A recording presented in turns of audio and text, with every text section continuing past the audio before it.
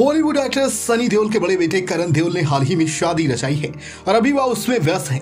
ऐसे में अब सनी देओल के छोटे बेटे राजवीर देओल अब फ़िल्मों में डेब्यू करने जा रहे हैं। जी हाँ राजवीर देओल फ़िल्म दोनों से एक्टिंग डेब्यू कर रहे हैं और खास बात यह है कि स्टार किड्स में उनके साथ एक और स्टार किड ही डेब्यू करने जा रही है। जी हाँ फ़िल्म दोनों से सनी देओल के बेटे राजवीर देओल और एक्ट्रेस पूनम ढिल्लो की बेटी पालोमा ढिल्लो भी एक्टिंग की दुनिया में कदम रखने जा रही हैं। आपको बता दें कि वही फ़िल्म दोनों से बॉलीवुड डायरेक्टर सूरज बड़जातिया के बेटे अवनीश बड़जातिया डायरेक्शन डेब्यू कर रहे हैं। कुछ दिनों पहले ही फ़िल्म का ऐलान हुआ है। सूरज बड़जातिया के राष्ट्रीय प्रोडक्शन ने अब तक दर्शकों को हम साथ साथ हैं। हम आपके हैं कौन? ऊंचाई जैसी कई यादगार फ़िल्में दी हैं। ऊंचाई की रिलीज़ के साल भर बाद अब मेकर्स ने कुछ दिनों पहले अपनी नई फ़िल्म दोनों की घोषणा की थी।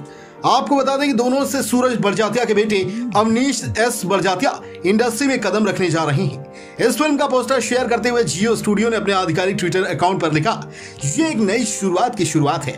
दोनों का टीजर कल ऑडियंस के सामने आएगा। आपको बता दें कि दोनों का एक पोस्टर भी शेयर किया गया है, जिसमें लिखा है, दोनों, दो अजनबी, एक डेस्टिनेशन। आपको बता दें कि बीते साल ये खबर सामने आई थी कि सनी देओल के छोटे बेटे राजवीर इंडस्ट्री में कदम रखने वाले हैं। दादा धर्मेंद्र ने भी ये खुशी फैंस के साथ शेयर की थी। फ़िल्म में राजवीर देओल के अपोजिट मुख्य भूमिका में बॉलीवुड की मशहूर अदाकारा पूनम ढिल्लो की बेटी पलोमा नज़र आएँगी। उनकी भी ये डेब्यू फ़िल्म ही है। आपको बता दें कि राजवीर और पालोमा स्टारर इस फ़िल्म की शूटिंग बीते साल जुलाई 2022 में शुरू हुई थी। वहीं राजवीर के पापा सनी देओल और पालोमा की मम्मी पूनम ढिल्लो फ़िल्म सोनी माहिवाल में साथ में काम कर चुके हैं और इन दोनों की जोड़ी को खूब पसंद किया गया था। फ़िल्म में सनी देओल के बेटे राजवीर देओल, पूनम ढिल्लो की बेटी पालुमा ढिल्लो और सूरज बरजातिया के बेटे अवनीश बरजातिया। तीनों लोगों का डेब्यू होने जा रहा है।